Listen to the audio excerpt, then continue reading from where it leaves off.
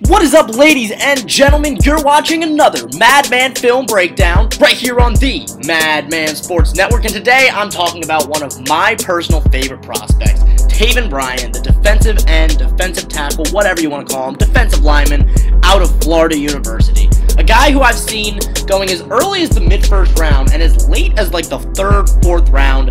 I think that late third, fourth round is unbelievably like wrong they could not be more wrong when it comes to that.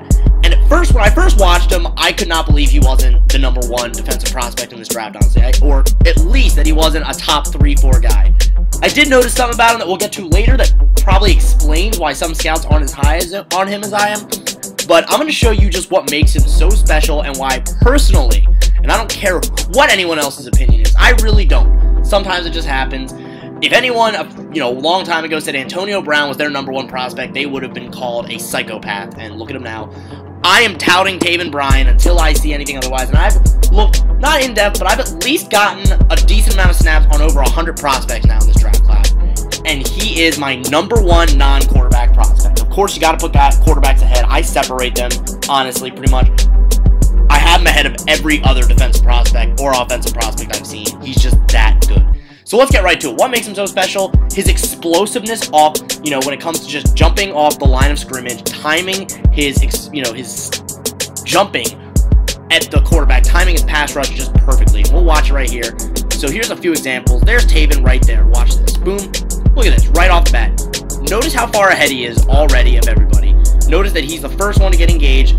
And notice now already again just how far ahead he is of all these other defensive linemen. Now he does end up getting double teamed right there and he commands so many double and triple teams and you'll even see it here. And that's another thing that makes him so special. And unfortunately that's why I couldn't find as many great plays like this is because of how often he was just getting taken out of plays by double and triple teams because that's what you have to do. That's the amount of attention he commands.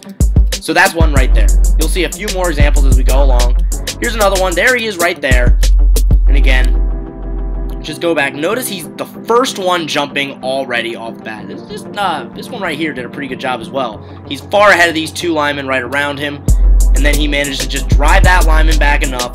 Doesn't end up getting pressure or anything, but it's more about just his ability to explode. So here's another one. You'll see him lined up there. Notice he can line up on both sides of the field. You'll see him lined up inside. You'll see him lined up outside, lined up you know, a three or five tech, which is very impressive for him. It's the type of player you can move around on the line. The same reason people love Minkah Fitzpatrick so much because you can line him up at, you know, safety, linebacker, corner, whatever, nickel, outside. You can line Taven Bryan up really on any of the four parts of the field when you're lined up in any sort of 4-3, and probably on either defensive end, uh, you know, position when you're lined up in 3-4. So here's another one again. Look at that. He's already just bulldozing his way through this lineman while these other three, four, five, nobody else is even close to his far head. Now again, he gets driven away. Uh, you know, the lineman did a good job there. But this section is more just about his ability to just perfectly time his jump at the snap, his perfectly timed, you know, first engagement and his explosiveness as well. As well, he's able to just build up that speed and momentum so quickly that he's able to drive linemen back pretty regularly. And you'll see it soon here. So here's another one. Notice him right there. This time he's lined up inside. Look at that. Just again, brief second, but that extra split second. The ball is not even in the quarterback's hands yet, and he's already getting ready to pounce. He drives his lineman back with ease, doesn't get his hand up or anything like that, and that's one thing we'll talk about later is his awareness, something that I think really needs to be worked on. But just timing that explosive jump off the snap is so impressive that it really takes away some of the other maybe weaknesses that we'll look at a little. Now here's one more again in the goal line situations. He's again ahead, jumps ahead, even though he kind of went they, you know, they have my, I don't know what it's called. This is where I wish I had more experience with it. Even though he kind of jumps across the line, he's still ahead of everybody else here. And now watch this. Triple team. Three linemen are dedicated to Taven Bryan. One here, one here. And that is why this defensive lineman right here has the one-on-one -on -one matchup with what I believe is a running back. Yes, it is. And he's able to drive back there, get his hand up, and force some pressure. Because Taven Bryan was able to take so much attention. Look at all these defensive backs in the end zone.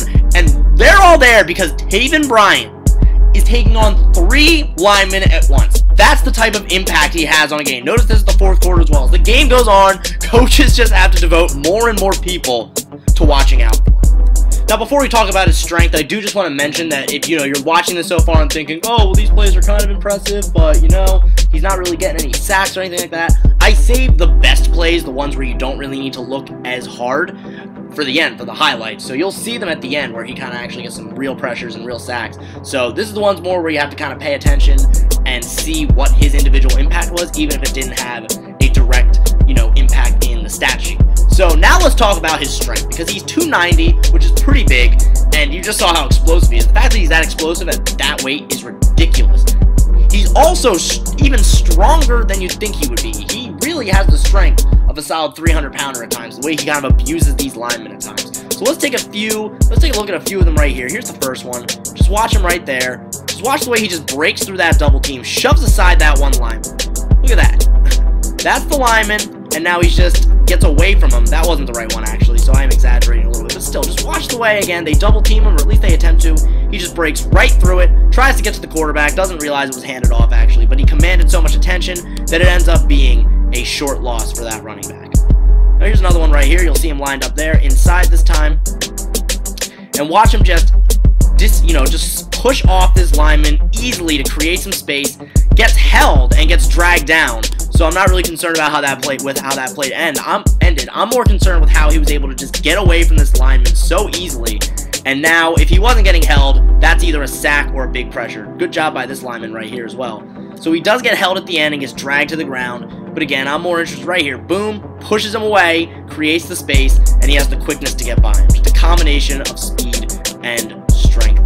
So here's another one here. Now you'll see him line up on the other side. Again, notice how he's ahead of all the linemen right there. Explosiveness still intact. He's getting double teamed, now triple teamed at some point, and he manages to just maintain his balance, maintain his strength, gets to the other side. If this quarterback does decide to run, which he doesn't, Taven will be one of the other players there to help make that stop. But again, I'm more interested in what was going on in the trenches. Just the fact that he's getting double teamed, he's managing to drive them all back at the same time, and he doesn't let them abuse them or push them over. There's a lot of players where if they're getting that, you know, mauled by multiple players, they might just get straight knocked to the ground. Not only does he not get knocked, he manages to push them back about five yards. That's very impressive. He's just so strong. Not just for his size, but really for anybody. So now here's another one. You'll see him lined up right here inside. Now, this game against LSU, by the way, I have to make a note here. He was double teamed nearly every play he was on the field. That's what type of attention he draws on this defense. So you saw a lot of other players getting the pressures, you know, getting in the quarterback space, but that's because because of Bryan, they were all able to get one-on-one -on -one matchups. So it was tough to find some real like highlight plays for Bryan because there were so many plays they were not running his in his direction. They were assigning a lot of double and some triple teams to him as well. And still, when they did occasionally, like on this play, let him be go one on one with a guard, for example, right here. Watch how easily there he is. Watch how easily he just gets right by him. He does fall over at the end as he tries to kind of make his jump for the QB. QB gets rid of the ball pretty fast. But still, just the quick way he just uses his right shoulder, uh, left shoulder right there, gets right by the lineman, and at least manages to somewhat disrupt the pass. Now, the pass was completed. It was a pretty short, easy gain.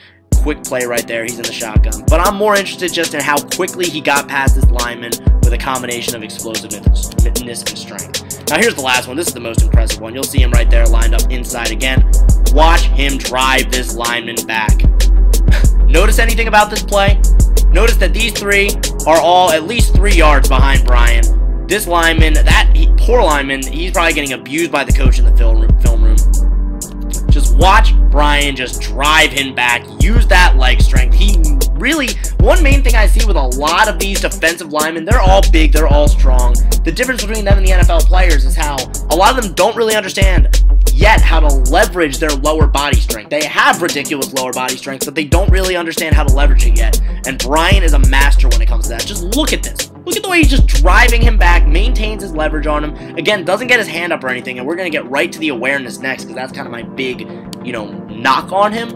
But still, that's just ridiculous strength. It, one lineman should not be able to abuse another lineman that easily, and Bryan makes it look like a joke. So how is it that somebody who's so versatile, again, you can really line him up anywhere on the defensive line, somebody so clearly explosive, and somebody so strong, and obviously it has results, it has effect, how is it that he's not a, you know, consensus top 10 pick Maybe there's some other reasons that I don't know of, but one that I really noticed, and it didn't jump off on screen until I really watched it more deeply, is that he really does, he's going to struggle as a run stuffer early, and I believe it is coachable. I believe the coaches will be able to find a way, and even if it isn't, coaches will find a way to put him on the field. He's just too talented to where they'll be able to work around it, but he had some really nice opportunities to make big stops in the run game, and he ended up whipping on him. And it was really because of a lack of awareness for the most part. And then also just because maybe it's because his arms aren't quite as long as some of the other players. Like there are some plays where I look and I'm like, oh, Vita Vea would have made that stop, and Bryan didn't. So let's take a look here. Here's one. Ball is snapped.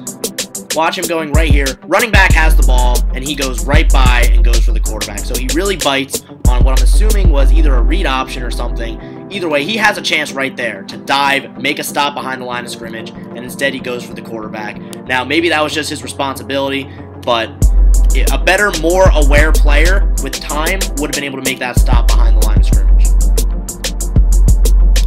So now here's another one. You'll see him lined up right here. There's uh, there's Bryan. Ball is snapped. Look at him. He's still looking at the running back. Quarterback has the ball. Quarterback's rolling out. He's going very far. Bryan still has no idea what's going on. By the time he realizes the quarterback's about to make the throw, it is far too late. So just as, you know, the way he bit on that play action, it took him far too long to realize that this ball carrier does not have the ball. And by now, he's ineffective. Now, would he really been able to make the stop anyway? No, but if maybe he had realized right here, right as the quarterback, you know, takes the ball back, maybe he could have disengaged, turned back around, and at least put a little bit of pressure on this QB. Now, I don't know if that pass was even completed or anywhere or not. It ended up being a short gain. But Bryan could have been the difference if he had a little more awareness. So here they are on the goal line right here. Ball is snapped. Now this one, he has him. He has the running back right here. And he just whiffs. Now he does kind of get his one hand on him and slow him down at least. But again, he has the, you know, angle and leverage right there. We're a really elite run stuffer. And again, I'm thinking mostly Vita Vea because he's the one that I've studied so much. Would have made that stop, kind of wrapped him up behind the line. Again, at least he got a hand on him and helped slow him, slow him down for the rest of his teammates. And again, it was a really, really nice jump, really nice job of, you know, being on the right side actually. But a better run stuffer would have made that stop. So now here's another one right here. Notice Bryan right there. Ball will be snapped. Ball carrier is number 83 right here. Look at this. On this split screen, this pause screen, Ryan should have this stop five yards behind the line of scrimmage, make it third and nine. And instead, he just completely whiffs because notice for just this extra brief second, he's still looking at the running back right here. He just doesn't realize that there's a player, and now by the time he realizes it, look how he's turning his head back. It's just too late. He kind of gets driven back. Now, I do get that he's kind of getting mauled by this lineman as well, but if he, you know, got a better grip on him, he could have made that stop. Now, it might also just be that he had the wrong angle, but really, the sooner he had realized, if he realizes he has the ball right here, he can kind of cut back to the outside and make the stop. So that's really where I'm concerned. If he could be, you know, that, that, that might lead to him being taken off the field and really only being used early in his career as a situational pass rusher on second and third down. And here's another one right here, one more. So ball is snapped. And right there, he gets a nice break, really does a good job of getting, you know, throwing this lineman to the ground, has the running back, and just completely whiffs. So sometimes it's not awareness, sometimes it's just that he whiffs on some tackles. Now, that, that I believe absolutely he can fix. That I believe is coachable. The awareness I'm a little more worried about. Now, he's such a threat when it comes to being uh, commanding double teams, commanding triple teams. He's so explosive, and he's such a dynamic pass rusher that I'm going to overlook it a little bit for now, even though I will acknowledge that it's a big weakness, and I understand why people will have them lower on his draft boards. Now, fourth round, I think is ridiculous, because I can't see that one weakness really being the reason that you drop him that low. I can understand why you want to take him maybe the very late first round, mid, early, mid second round. I get that. That's not going to change my opinion, and I'll get to that in this wrap up right here. So thank you so much for watching. Really appreciate it. By now, you should know I have a first round grade on Bryan. I understand why other people don't, but I absolutely believe that with the right coaching and with just more reps and experience within a year or two, maybe he won't be, and I apologize for that pop-up, but whatever, I'm not redoing this. Maybe he won't be, you know, a superstar on day one necessarily, but it's very rare to find players who you're able to line up all over the field like this. That's what makes guys like Aaron Donald and Fletcher Cox so special. Now, is Bryan going to be as good as either of those players? I can't say yes or no to that. I absolutely can't say yes just because it, I can't say any player in this draft is going to be the best defensive tackle or best player in the NFL. But that is what makes him special, and he really does possess all the physical traits and just those instincts to be able to make plays and be effective early on. Again, I absolutely believe that really good coaches will find a way to utilize him. And I think he's really being overlooked. And maybe when the combine comes and he puts up some great numbers, even though I don't care about it, maybe as the combine comes, maybe just as uh, people start evaluating more film, you'll start film, you'll start to see him shooting up some draft boards. So you heard it here first that Taven Bryan is absolutely worth a top 10 pick at the very least. I would take him in the first round with my pick. If my defense needed any sort of toughness in the trenches and my offensive line was a little more set, I'd probably go offensive line first, then defensive line. I don't know. It really depends on the needs of my team. But right now, he's very high on my big board, and I have a feeling he'll stay there unless I see something crazy. Follow us on Twitter at the Madman Sports. Follow me on Twitter at BSUL21 and hit that big red subscribe button. We'll have more coming for you as we get closer to the NFL draft.